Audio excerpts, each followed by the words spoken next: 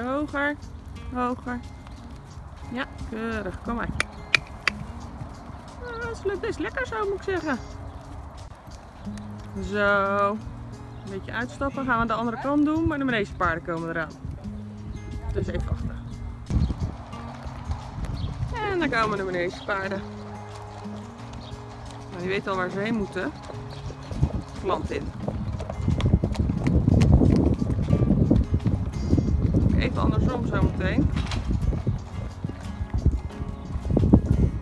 Mevrouw. En die gaan zo in.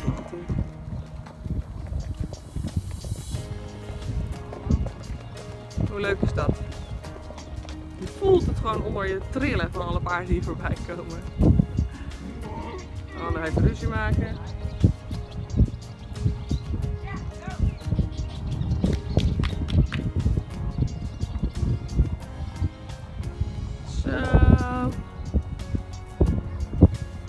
Nou, dan zijn ze allemaal in het land.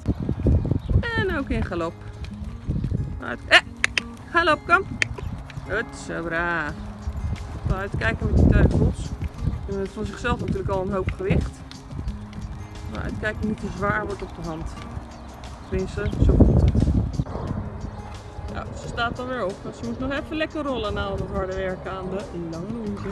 Ja, lekker hè. Ik zal ze niet te dichtbij naderen, niet storen. Maar dit is natuurlijk wel het schattigste plaatje van allemaal hè. Fino, Levi en Lente, allemaal met hun mama, Caro, Ula en Energy. Energy is de lichte, de donkere is Ula en die daar in het midden is Caro. Bij Ula hoort Levi, Lente zie je om, uh, in het midden hier om uh, Caro heen en Vino staat bij Energy. Hoe schattig is dit? Het is toch gewoon te.